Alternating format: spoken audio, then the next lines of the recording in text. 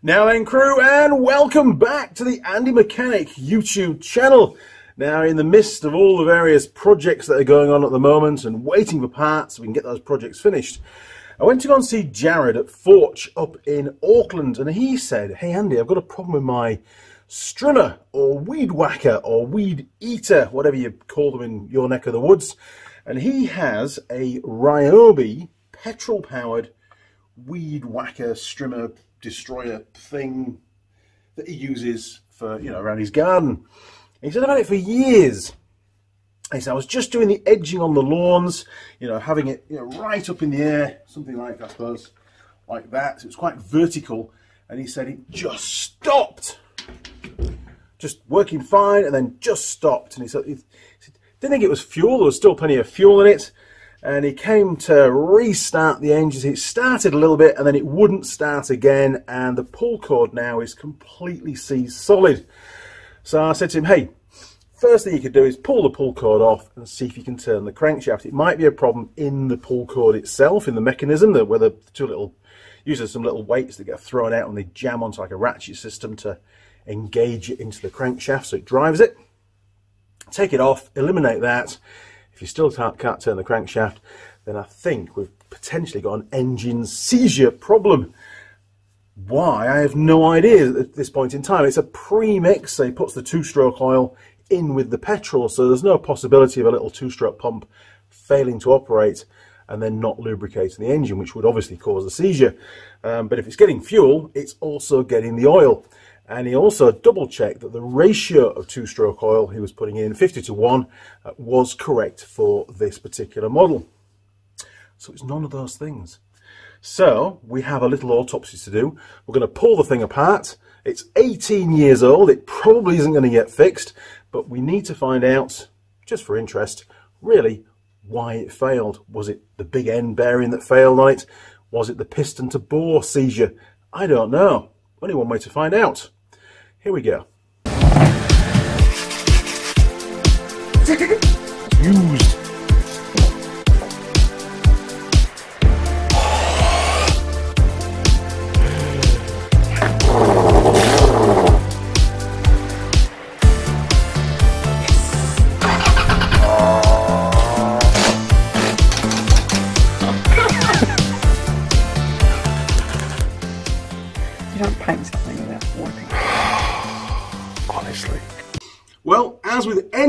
Diagnostics, we need to replicate the customer complaint. So, let's pull on the pull cord and see if the engine turns over. Jeez! Right, absolutely seized solid. Nothing wants to rotate whatsoever. There's a bit of springiness going on, but definitely nothing turning over. Right, let's get that pull cord mechanism taken off and we'll start digging into it. Here we go. Ah, it's bloody cold today, it really is. Right, one.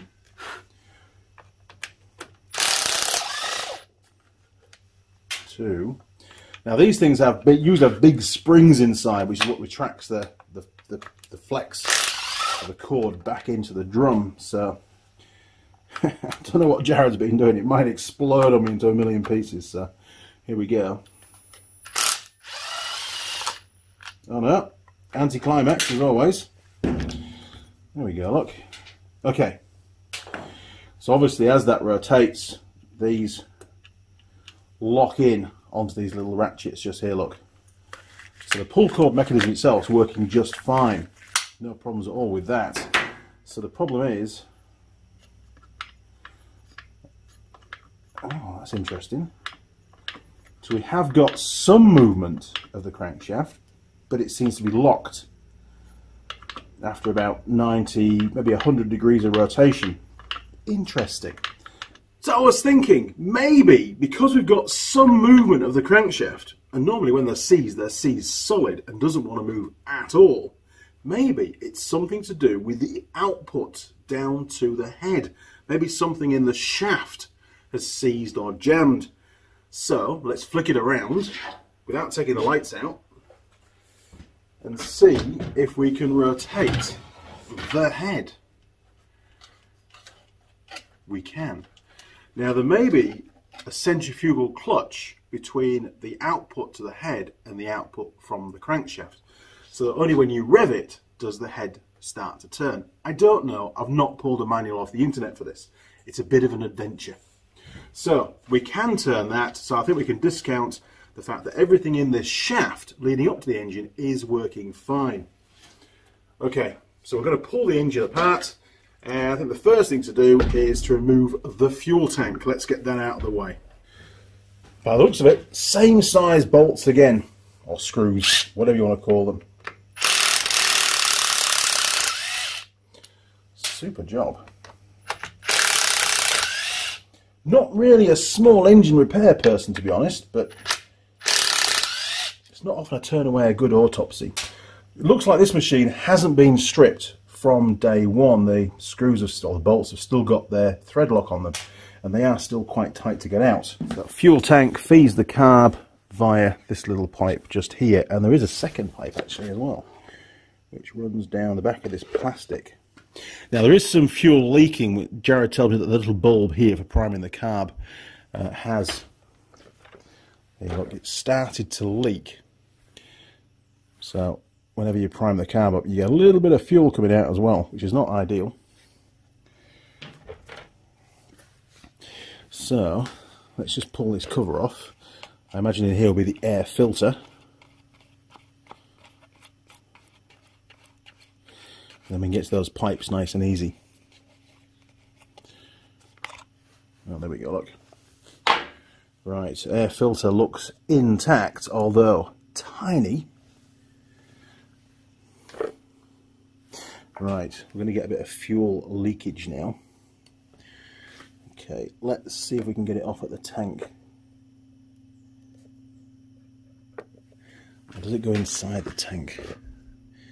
It does. Okay, so we're going to pull them off the actual carbon itself. And there's some little metal clips on there as well.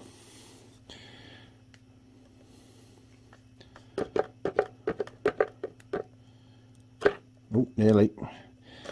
I imagine that these pipes are going to die actually because they're quite old. Flat screwdriver, I think. Always fun getting these off. There we go. Look, there's one. Now, this other one goes to the bulb. So, how am I going to disconnect that? Can you see? You can see. So it's this one here we need to pull off. Oh, that was easy, wasn't it? Okay, so we can get the fuel tank out of the way now. Hardly any fuel in it, which is good to know. Okay, we can get rid of the greenery. And notice that that was blocking quite a lot of the cooling area. Keep the engine cool. Hmm. Right, next job. Let's get the rest of this plastic shrouding taken off. Slightly smaller size on the Torx bits, so we'll just swap that out. There we go. It's a good little tool this actually. Makes things a lot quicker.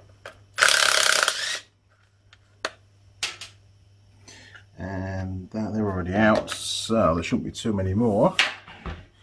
There's another one, look.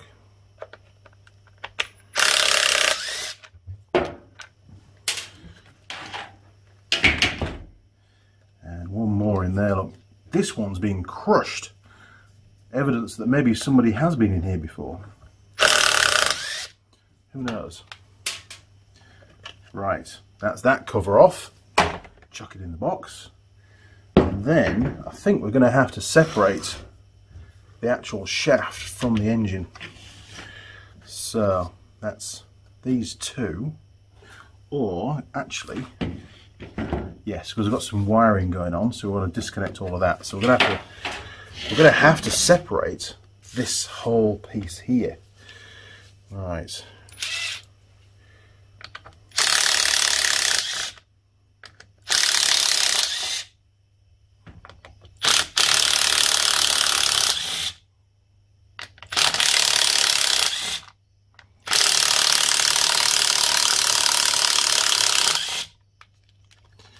Get off. Oh, it's on the floor.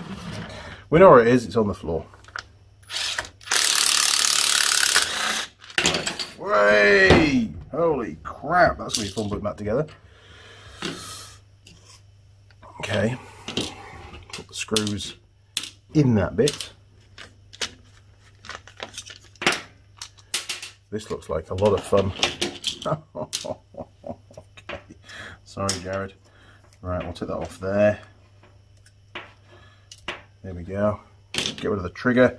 So all we've got now is a wire, so we can disconnect the shaft. And to do that, by the looks of it, we've got a screw, a normal posi screw, and we've got a larger, is that the same size as that? Oh, it is. Right. Bear with me then. Let's get that swapped across again. Here we go.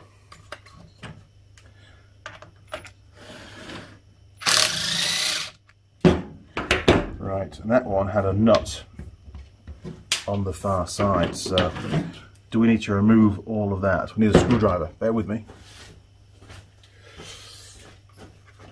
Okay.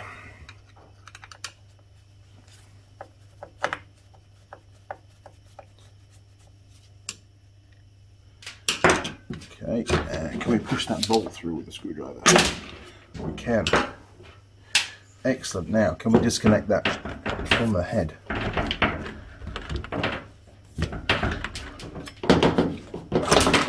Yes. Super job. Right, we'll stick that out of the way. Pop it up over there. All that stuff, geez, it's good to go. The problem lies in here. Yes, we've still got that 100, 100 odd degree turn and lock. So let's get the rest of the plastic cowling taken off. Then we can really get into the engine. I hope, this, I hope I can remember how all this goes back together, honestly. Okay, so we can disconnect some of this because we've just got a connection there. will stop things flapping around. Oh, it's got a zip tie in it, hang on.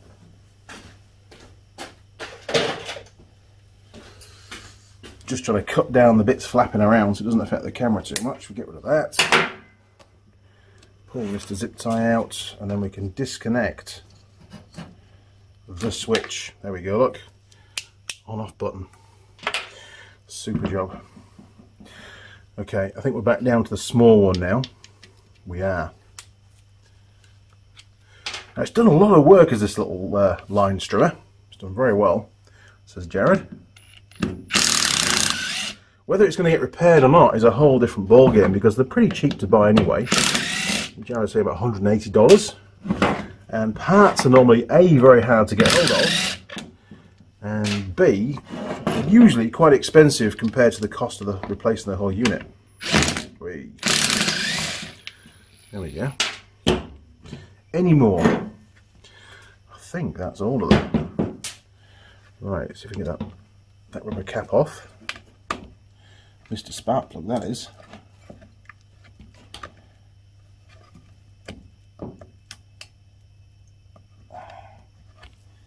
Oh, I see, that is the actual plug cap.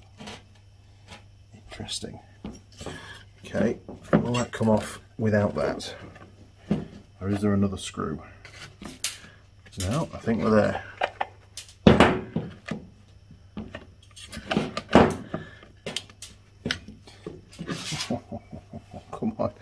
You can do it!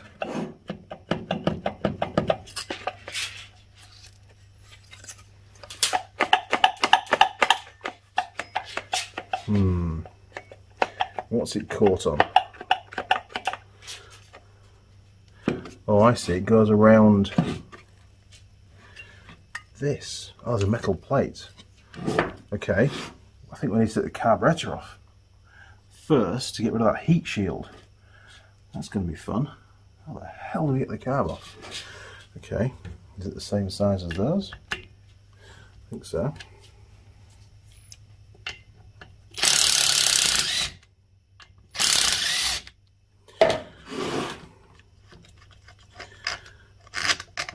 Jeez, look at the length of those.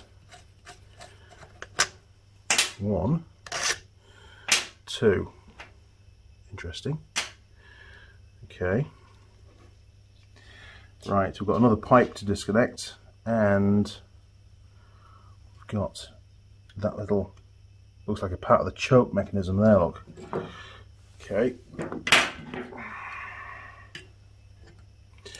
Or can we just pull that, there we are, look, we'll just do that. That works. and that must be into there look right so we can snip that zip tie separate that get rid of the carb and now we can get to these screws here and get that little manifold taken off there we go to camera Mr. Young to camera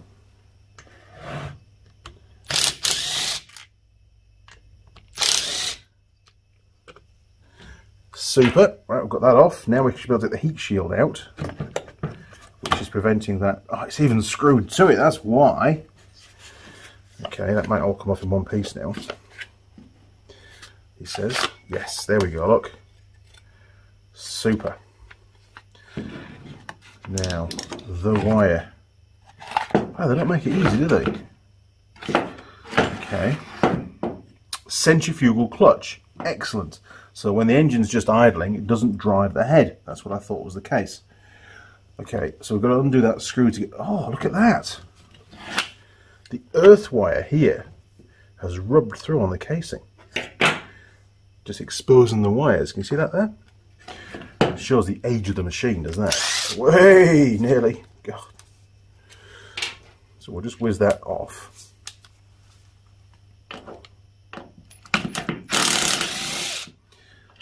Right. I'm going to stick that back in there for now. And we've got one more wire which you can't really see. There we are, look. Which is that little terminal there. Brilliant. All of that can go. And that's the that's the drum inside there that that centrifugal clutch basically uh, locks onto when the engine RPM increases. The weights get thrown out, the shoes get thrown out. So all that's good. Okay. So here we have the engine. Well, all that happened pretty damn quickly. And we're right down to this little tiny engine. It weighs nothing. So the problem must be somewhere in there that's causing that crankshaft to, to not fully rotate. So we're actually getting a slightly more movement now, which is a bit bizarre.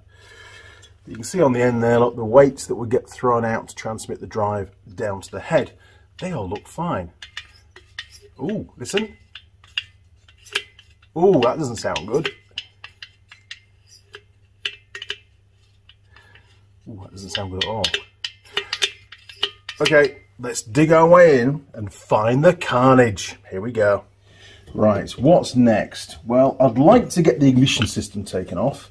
And to do that, oh, there we go, look, we can pull that off the, car, off the spark plug. And now we can take up, now this is, a, this is the coil that creates the spark, and it's directly induced off the flywheel. See the little pickups down here, look. So, change that head across. Put the, oh, the big one was on. What a muppet. Okay, let's pull that off there.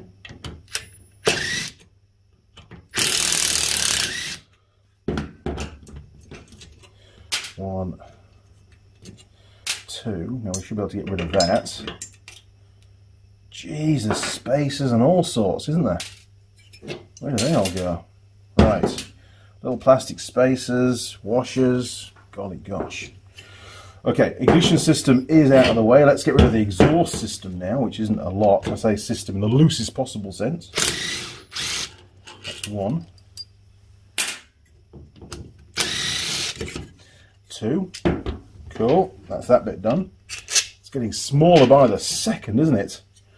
Okay, now, next job, I think, is going to be taking the cylinder, the cylinder off the top. So let's remove the spark plug first, whilst we can still hold on to it. Well, this is an 18 mil spark plug socket, and that doesn't fit.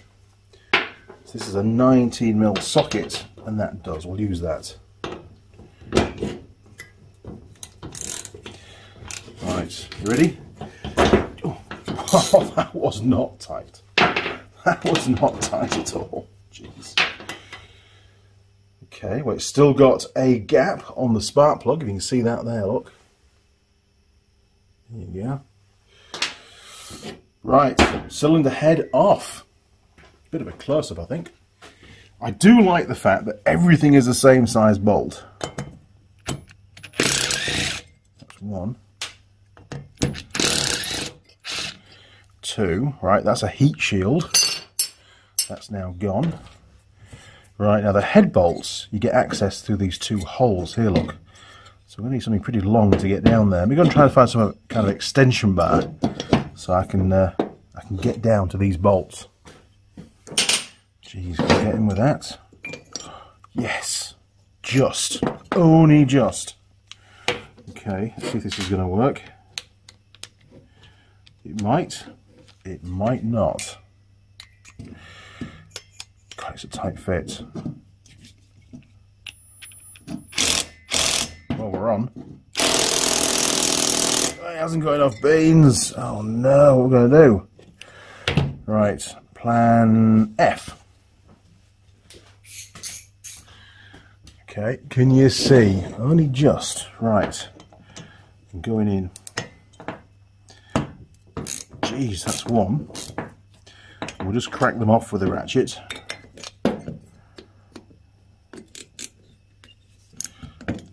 Everything's very small, isn't it? Right, we'll get rid of that. Plug that back on.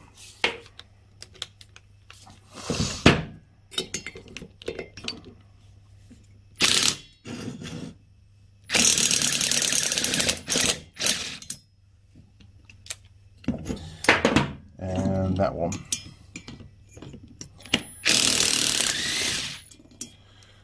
Fantastic. Now we should see the piston as we pull the cylinder off. If we can get the cylinder off. Oh, there we go. Holy moly. This thing, honestly, weighs absolutely nothing. Wow. Okay, we'll take a closer look at that shortly. What does the piston look like? Well, it's been modified. Let's take a closer look. Oh, it's not. Oh no! Look at that. So we've got some big chunks missing out of the piston itself. Tiny little piston, by the way. And it also feels. Oh, it feels very loose on the big end as well. Very, very floppy indeed. Look at that. Look at the play on that big end. Knock, knock, knock, knock, knock, knock. So we've got both big end failure and the piston was, well, obviously lost compression and it was pretty much seized in the cylinder itself, and that's what was causing it to, to not to rotate. I'm sure if we turn the crankshaft now, yes, it rotates full 360. Right, well, let's keep going, but we'll have a little look at the cylinder first. Where's that other bolt? Is he going to come out? He is. There we are, look. Right, so let's turn the, turn the torch on and take a look. There we go. So what can we see down the hole of darkness? Now notice on this that the cylinder head, this bit, the end of the cylinder, right down there, it's all one piece. There is no head gasket as such.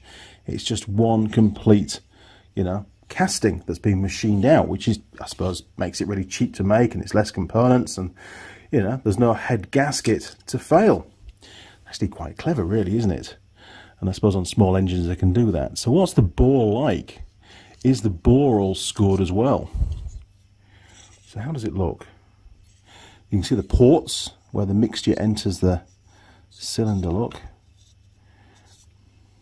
Wow.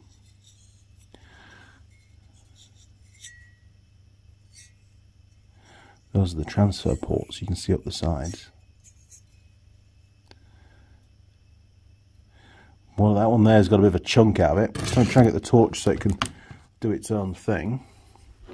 So down there we've got a chunk just out, just out of the cylinder itself. This is all aluminium, by the way. Although it might be a steel insert, but I think I think it's just aluminium to be honest. What else can we see? Very difficult to get the torch angle just right for you.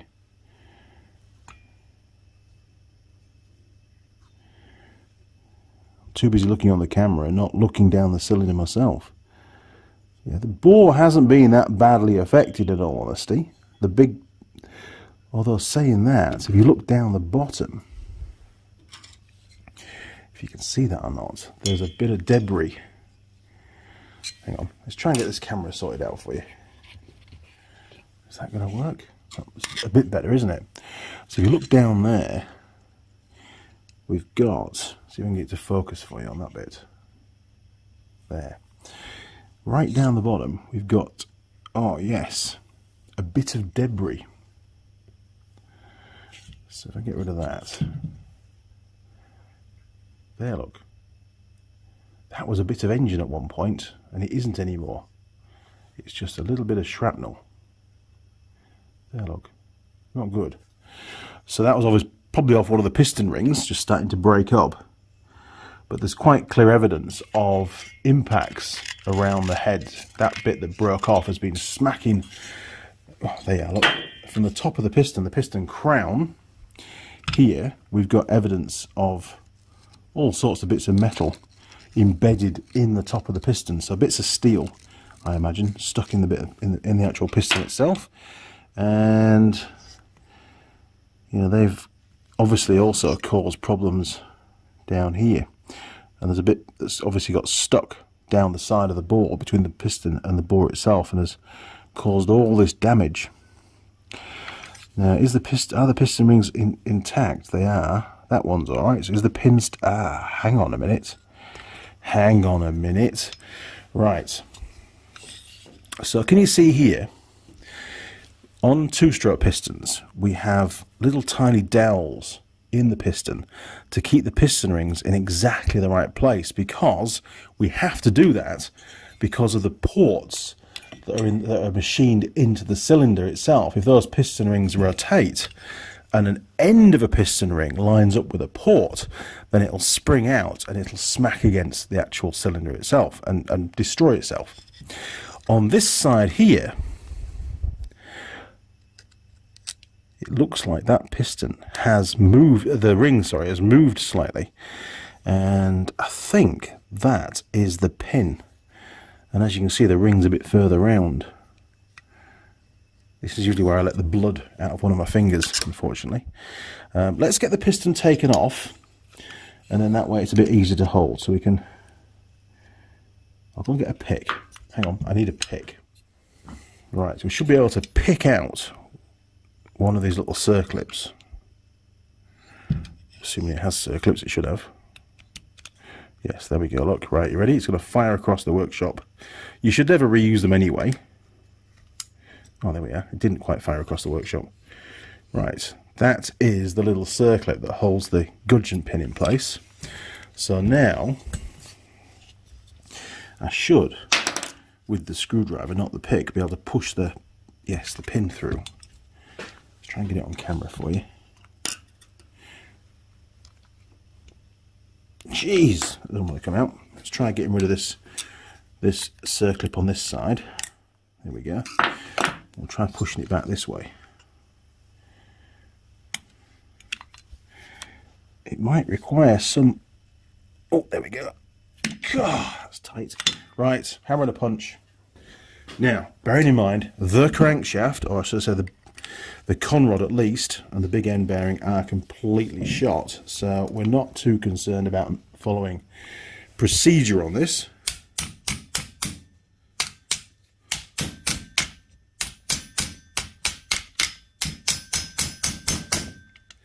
Right, that might be enough. Yes. There we go. So we've separated the piston from the conrod now. And that's the little end. The little end doesn't look too bad actually there's no signs of because this is where the bearing is that goes into the little end bearing. Well, we'll take a closer look at that a bit later on, but the actual pin itself doesn't show any signs of poor lubrication. Interesting. Okay, so going back to these pins for the piston rings. Now I've got my pick. Let's see if we can just get piston ring off. Way half a piston ring. Okay, that's fine. We knew it wasn't broke before I Andy got hold of it. Okay, there we go. And yes, it's snapped at this point here. So we've got one little bit left in there. Now obviously this piston is scrap. My fingers aren't scrap at the moment. There we go. Right, so where is that pin? Where's the dowel? Is that the dowel? I think it is. Yes, there we go, look. So the ring had moved around. Part of that dowel is actually missing. It's not as prominent. If I get this ring taken off, you'll see. Oh, oh God. They're not in very good condition, these rings, are they? Another bit of ring. Right. There we go. So if we reverse round, bits of aluminium stuck in there. If we come round, you'll see, yes, that the uh, the lower piston ring pin, if you can see that on there, look, is quite prominent and it's it's intact. And if we come round to this one, it looks like it's pushed further in, which has allowed the ring to migrate round. Now, I'm not saying that's the reason for the failure, but it was certainly in the wrong place. But the piston, the end of the piston ring wasn't that far off from where it should have been. But it is quite important that they're held in the right place. And there's definitely been some debris working its way between the piston and the cylinder wall because that's where you get this kind of scoring from here. This is quite a, this in fact this is incredibly bad this bit. I've got another another very deep groove just coming down here as well, haven't we? And that might have been the reason why Jared couldn't get the uh, the engine to turn over on the pull cord, is because the piston was jammed in the cylinder. Right, that's enough of the piston. We've had a look down the bore. Let's have a little look at the big end. I say big end in the lightest, loosest sense because it's actually very small but we call this the big end. That's this one here, and we call this one the little end. And the little end, oh look at that, you can even take the bearing out, look. Right. Little baby needle roller bearing, which is still intact, which is good. Well done, little needle roller bearing. But the I can't say quite the same about the big end, look. That's quite badly worn. That would have been knocking for some time with that. Listen. Shouldn't do that. Okay, let's see if we can disassemble this a little bit further and get the crankshaft out. But I think we found the problem. Now, this centrifugal clutch mechanism has to come off first before we can remove, I suppose, what you would call the flywheel. Now, we've got here, you can see that the big spring in the middle, as this speeds up, these weights and the brake shoe here get thrown out. The friction material gets thrown out, and that's what grabs onto the drum to transmit drive down to the head of the tool. Now, these look like they're going to be a bit awkward to get out, but we'll give it a go. Oh, wrong way. Oh, Jesus. All right, that's one.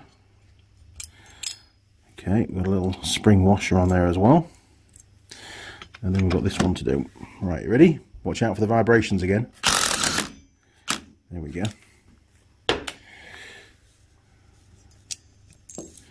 Excellent. Ooh, and some more washers. There's a lot of washers on these things, isn't there? That's weird how there's only one of those. Yeah. Oh, I see. It's probably come from... There's the one. Right. Two washers and this is the mechanism. It's got the little arrows on there for direction and stuff, which is cool. I don't think this is going to go back together though. Okay, now is that a 14? It's not. We need a smaller socket. Right, is it a 12? It is a 12. Excellent. Okay, here we go. It is. And it wasn't very tight. Okay, one nut. Now the question is, is that just going to come off? And the answer is no. And I imagine there'll be a puller in the Ryobi Special Tools kit. There'll be a puller that bolts to here and has the puller center that goes against the crankshaft to pull that flywheel off. I don't have one. But I do have a normal claw puller. Now with this being an aluminium flywheel, very bad idea, but given the fact that this thing is now scrap, because it's definitely not, not worth fixing, I can use a normal puller just to hook onto there and get that flywheel taken off, hopefully. Right, one puller to do this, I think the best idea is pop it in the vise and we'll just uh, clamp around there. It's got aluminium jaws in there, so it shouldn't cause too much harm. And we won't go all gorilla. I just want to just nip it up so I can get the puller on, put on at the top. A bit easier.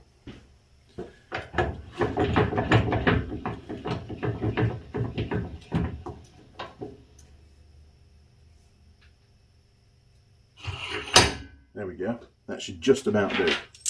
Hopefully. Right. Three arm, three leg puller. One, two. Ooh, we need to come round a little bit. Can we do that? Jeez. Let's try it just round there. It's going to be touch and go. There. Right, let's give that a go.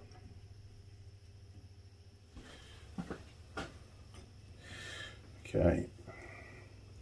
Just checking everything first. It's all a little bit to cock, to be fair, but that's really the only way I can get it. Now, this isn't the way you'd normally do it. You should really have the proper puller because we're going to be putting force on the outside of the flywheel and it's only aluminium and it may well deform, it might crack, it might break, but it's okay. This is scrap. Given the amount of damage on this thing, it's not worth fixing.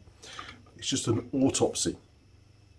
So feel free to go mad in the comments if you want. And yes, I could make something up, but in all honesty, I haven't got time for that. So we should hear a sudden loud crack as that flywheel pops off the taper. Or it breaks.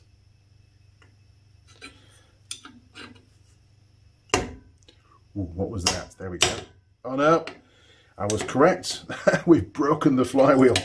there you go. Like I told you, they're not very strong. So if you were doing this repair at home and uh, you were hoping to use the old flywheel, then you wouldn't be able to. You buggered it, basically. And that's why it's important that you use the right pullers. Okay, so the next job is where do we go from here? Can we can we shock it off? Another little trick that we can use because it's scrap is we can just basically hit the end of the crankshaft and hopefully shock it off. Um, again, you wouldn't be able to do that if you were planning on rebuilding this, but just for the exercise of delving in and pulling something apart, then you can sort of get away with it. It's not ideal. Okay, well, where's me hammer? Hammer and me punch again, I think. One hammer, one punch. It's not in the vise very strong, so it's probably going to fall out of the vise. In fact, let's just let's just rest it on top like that. I can hold it. And I'll give it a little give it a little tap and see what happens.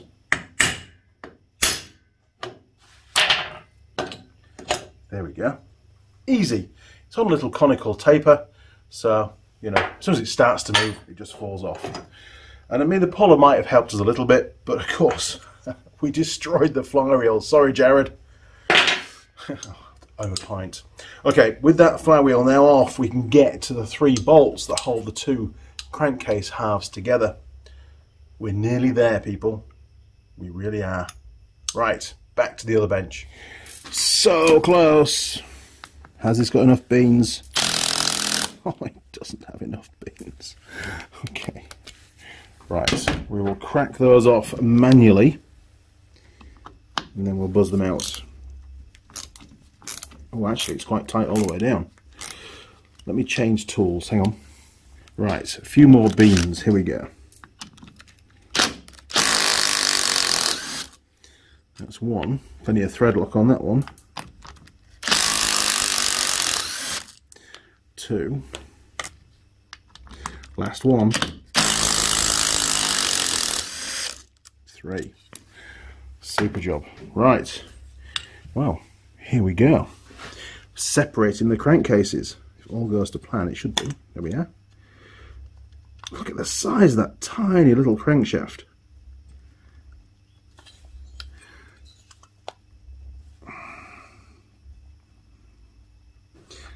Almost there. There's the gasket look. Get rid of that. What's left of it. Don't need that anymore. Where's my hammer? Give him a little tap.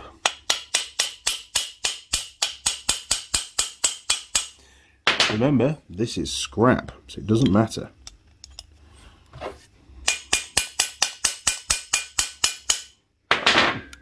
Oh, I know what's going wrong. We've left the key in. God damn, rookie mistake.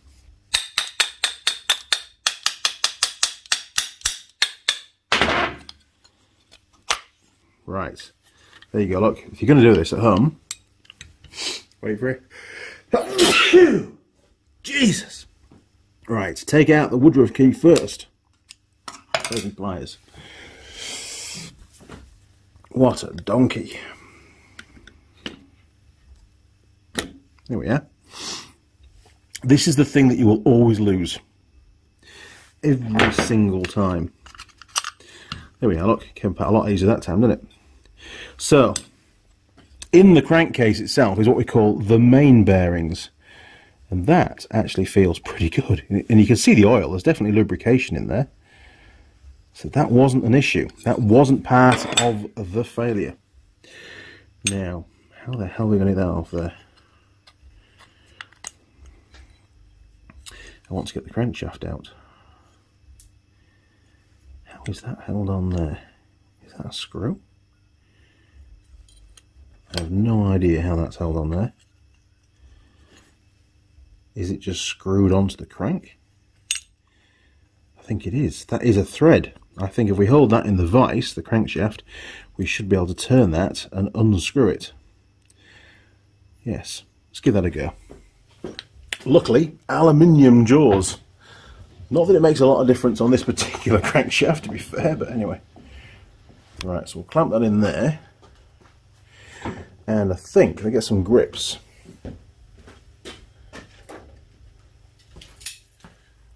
think this is just screwed straight onto the crankshaft.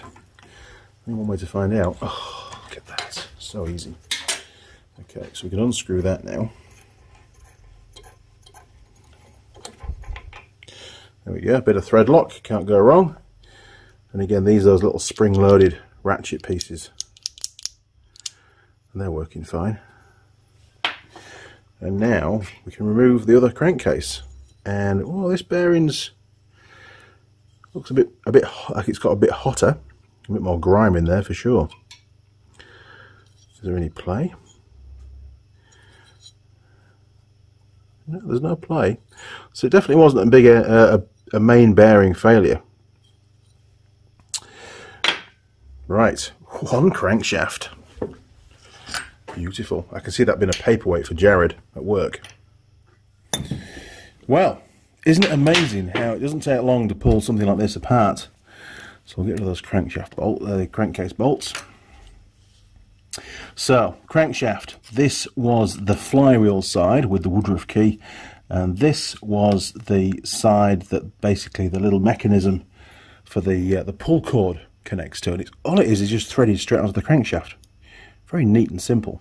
And I mean, to be fair, it works. There's not particularly a lot of force on it. And this stuff is all is all old thread lock, where they've locked it in place. Because of course, there's a bit of vibration going on with these engines. But what's interesting to look at now, and it's the last thing to check really, or to look at properly, is the actual uh, big end bearing. The main bearings sit on either side of the crankshaft. Here, look. And the big end bearing is what connects the conrod, this little tiny thing here, and the piston, as we saw earlier on, goes on the end there, look. And the job of the conrod is to convert a linear motion up and down on the cylinder to a rotary motion. Pretty cool, isn't it? Good old mechanics. Now, I must admit, the casting quality of this conrod is absolutely atrocious. Can you? And this hasn't broken off. This is just poor casting. There's a big chunk of the conrod missing here, where there hasn't been enough material put into the into the die or however however they made it in there. And there's also another great chunk just missing on this side here. Look, look at that. It hasn't broken off. That's just the way it came out of the factory. Absolutely horrific, really. You know, if you saw that in a motorcycle engine or a car engine, it would just be a joke. But anyway, it's got way too much movement up and down. That would have been knock, knock, knock, knock, knock for quite some time. And that additional movement would have reduced the clearance from the piston crown to the cylinder head. Now, I'm not saying that's why there's bits of metal in there. Uh, I think that's all down to different reason. But if that had failed much more, if this bearing, the little needle roller bearing inside there, had started to break up, then I think we'd have easily seen uh, the piston itself make contact with the cylinder head, or the top of the cylinder in this case. But um, yeah, poor little engine, honestly. That kind of movement's not that important, but it really is horrific. You wouldn't normally see that, and I think that's uh, exasperated by the fact that the conrod is so narrow on that bearing. All done for cheapness. But hey, it lasted 18 years. And I'll say that again, it lasted 18 years of Jared using it, which is testament to Ryobi. It's just hung in there. It's done a great job. But in the end, it failed. And I think it failed because that piston ring migrated. It moved away from the original dowel uh, which is the top one there. Looks so we've got one dowel here, which was good, and that piston ring stayed put. And then on the other one, the dowel, either a bit of the dowel's broken off, or it's been, somehow it's got, maybe in the factory, it's not been fitted quite in the right place. And anyway, any case, the piston ring was definitely offset by about, I don't know, 5 or 10 mil. I'll have to check the video now. Uh, and then it got caught, and then basically little bits of debris just started to get trapped between the cylinder and the piston and of course very quickly you get the demise. And I think the reason why it had locked up is because a bit of that debris was was preventing the piston from moving. And we did get some movement didn't we? We got I think about 100 degrees of rotational movement on the crankshaft. Uh, and then after sort of wiggling it around a bit then we got full travel. So most bizarre it was mechanically jammed due to shrapnel in the cylinder. And probably down to just old age really. It just had enough it got up and down the cylinder one, one too many times. There you go. Quite a cool little adventure, actually, pulling that apart. I've never repaired one of these weed whackers or strimmers before. Um, pulled a couple apart over the years and similar small engines. Very cool that it's still a two-stroke engine. They're getting pretty much, you know, wiped out these days on modern stuff. But little two-strokes lend themselves really well to things like this, chainsaw engines, weed whackers and stuff, because their power to weight ratio is much better than the traditional four-stroke, which has a lot more components, you know, valves and timing chains or push rods and that kind of stuff. So, Jared, I am sorry, mate. It's scrap. It's not going to get fixed. It's too far gone. And in all honesty, when I when I took the the, the trigger mechanism off, off the actual shaft and it all just fell apart and springs popped out and stuff. I tend not to get on too well with those anyway, so I thought, hmm, hopefully I want to put this thing back together. Um, it's not worth buying parts. We'd need to get a new cylinder because it is slightly scored in there. We'd need to get a new piston. We'd need a new, where is it? Where's the paperweight gone? Where is he? There he is tiny little thing. We'd need to get a new crankshaft for it. Whilst you're on, you put new main bearings in. I know, that, I know there's nothing wrong with them, but whilst you're in, you change them. Uh, you need a new little end bearing, you need gaskets, piston rings, spark plug, air filter. It's just not worth doing. These, these, are, in all honesty, are designed as a disposable component, a disposable unit. When it fails, oh, and you need a new flywheel, which would be pretty expensive because it's got the little pickups for the coil in there, the magnets, which, you know, it's not going to be cheap. And I broke that. But that's all right because at that point in time I decided it wasn't going to get fixed anyway. wasn't of the world. Uh, I could have made up a puller, but I didn't because I don't want to spend the time on it. Um, but there you go. Interesting stuff. And, and now Jared can hang this up in his office or put it on his desk as a reminder that things don't last forever. It did really well, but it's never going to last forever. It'll also remind us about the really bad casting quality of Ryobi. But it lasted. Okay, crew, well, hopefully you found this video fun, interesting, helpful, informative, call it what you like. I do like pulling things apart and finding out why they failed, and I think the failure was down to the piston ring just migrating around on that pin. Now, of course, once it goes over the pin, the pin actually forces it against the wall of the cylinder a little bit, and then, it, of course, you know, it can start to bind up and score and that kind of stuff. Because it, it, the ring can't sit fully into the groove anymore on the piston. So It's just a matter of time before the whole thing fails. Why did it move over there? I don't know. I just don't know. I wasn't there when it happened. Um, did it have anything to do with the uses that Jared was putting it to at the time? You know, with having having the, the machine almost vertical, sort of edging the lawn with it? I don't think so. I think it was going to happen regardless. I don't think it was down to usage.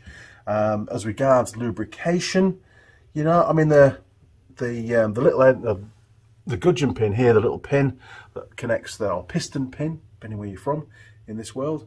Um, that's nice and smooth. And usually, if there's poor lubrication going on, then that will start to get scored pretty quickly. And it's not scored. Um, the main bearings are all good. Again, the mains will start to suffer if there's poor lubrication. So I think the damage to the piston was caused by a mechanical failure of that piston ring migrating. And then the reason why I couldn't start the machine is there was pieces of metal jamming the piston to the bore and of course it wouldn't rotate because the, the gearing on the pull cord is quite high. You know, you do one full pull and this goes up and down many, many, many times on one pull. So it doesn't take a lot of resistance in the cylinder to equal a lot of resistance at the pull cord itself and I think that's what we saw. Okay, enough of a summary. Uh, why not subscribe to the channel, ring the bell, you'll get notifications as and when I upload any new videos. Don't forget there's a live stream every Sunday morning. Uh, that's New Zealand time, 8.30am. Feel free to join in, ask questions.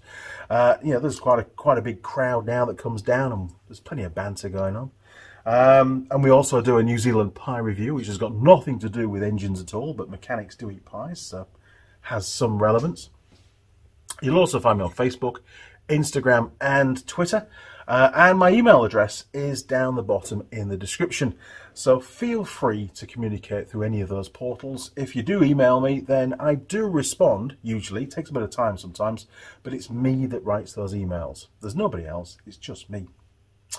Now, if you want to support the channel, you can do that through Patreon or PayPal. Uh, and there are links on the YouTube channel where you'll find those. Um, with PayPal, it's the same email address again.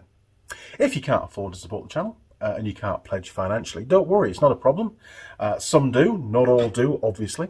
Um, but uh, you can also, if you want to support us, why not, uh, you know, choose a video, whether it's this one or one of the other 550 on the channel, uh, and share it on your social media, you know, so that all your mates get to know about the channel because they might watch a few. Okay, crew, well, it's about, yes, it's about time for me to go. I'll see you next time. Cheers. Over and out.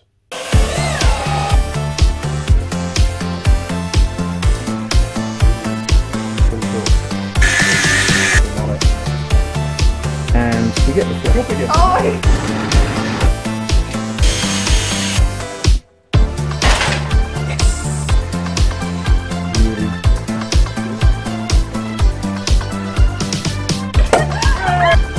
Gracias.